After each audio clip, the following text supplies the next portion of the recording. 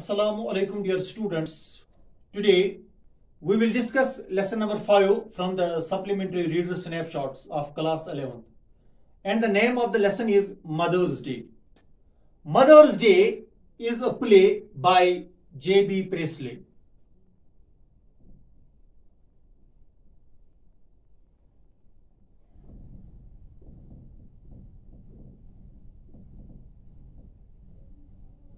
The play, that is Mother's Day, is a humorous portrayal of the states of the mother in a family.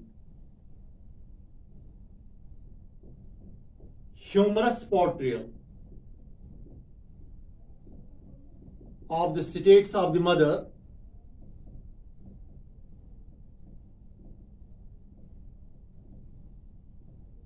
in a family.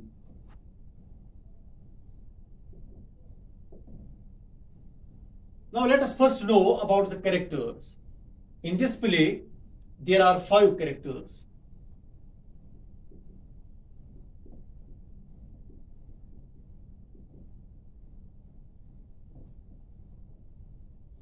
Now first, Mrs. Annie Pearson.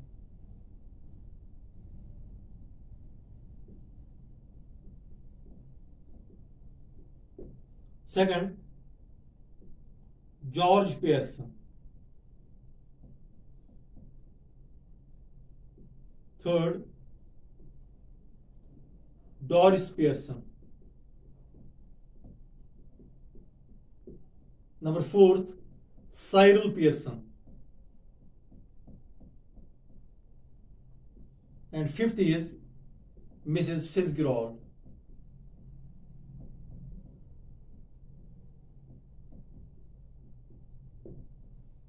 So in this play, there are five characters. Mrs. Annie Pearson, George Pearson, Doris Pearson, Cyril Pearson, and Mrs. Fitzgerald.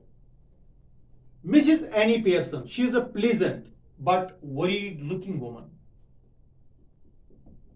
Pleasant but worried looking woman.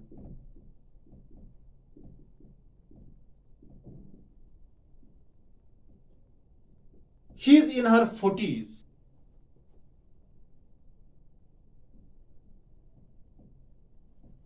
She is a devoted wife and a doting mother. Devoted wife and a doting mother.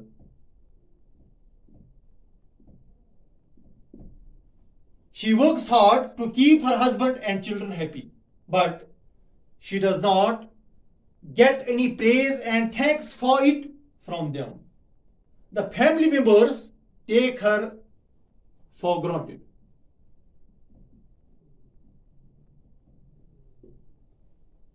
George Pearson. He is Annie Pearson's proud and spoiled husband who thinks highly of himself.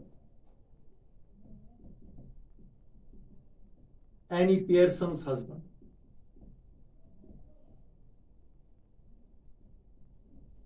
He is proud and spoiled.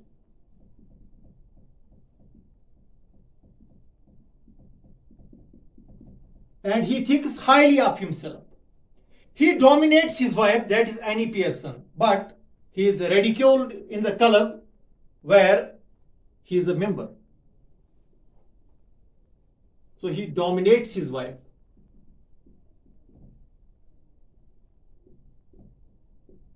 But he is ridiculed in the club where he is a member. Doris Pearson. She is Annie Pearson's daughter.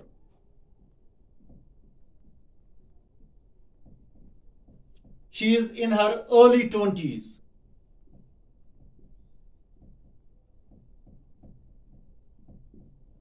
She fails to understand her mother's struggle and does not help her in household work. Does not help her mother in household work.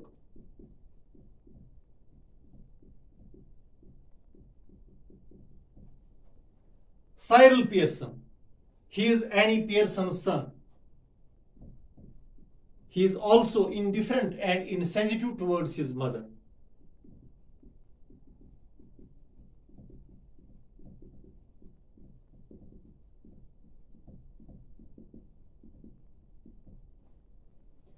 Mrs. Fitzgerald. She is Mrs. Annie Pearson's neighbor.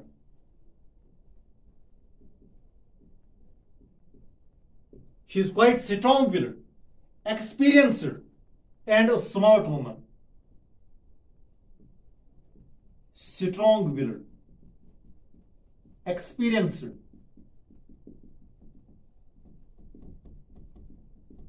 and and a smart woman.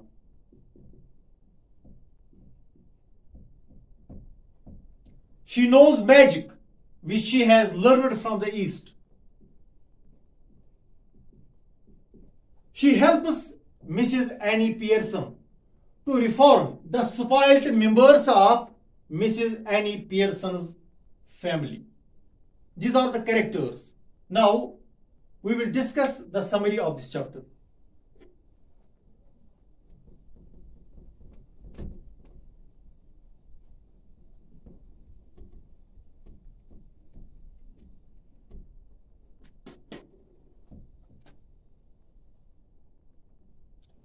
Mrs. Annie Pearson and Mrs. Fitzgerald are neighbors. Annie Pearson and Mrs. Fitzgerald.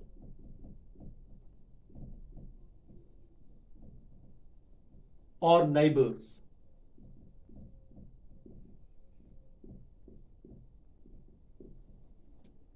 It is afternoon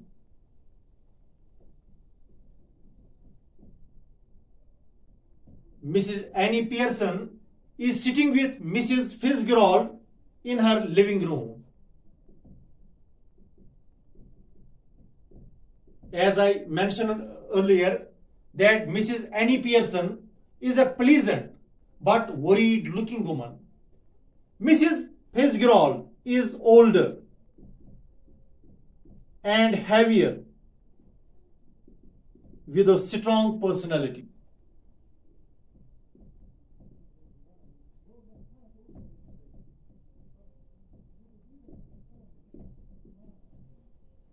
Mrs. Annie Pearson and Mrs. Fitzgerald, they have sharply contrasting voices.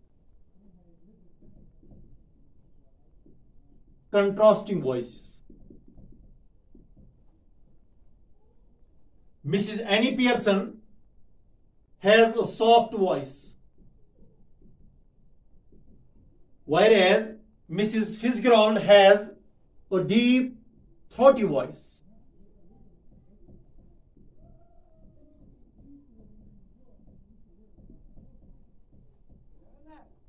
Mrs. Fitzgerald is a fortune teller.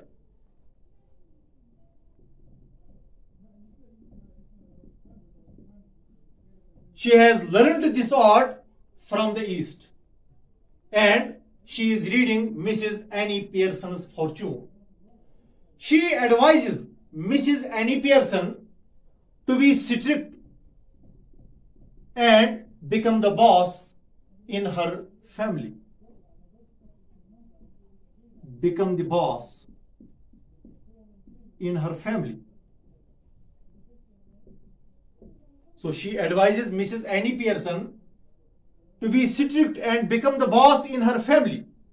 She should be the she should be the mistress of her own house.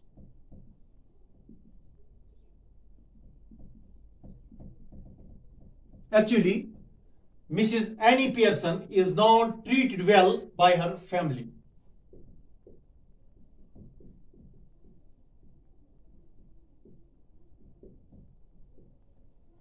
She works day and night to support her family members in the best possible manner.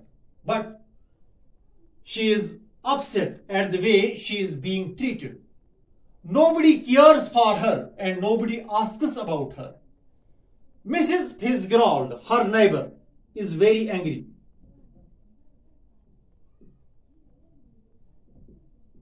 at the way Mrs. Annie Pearson is treated like a servant by her family.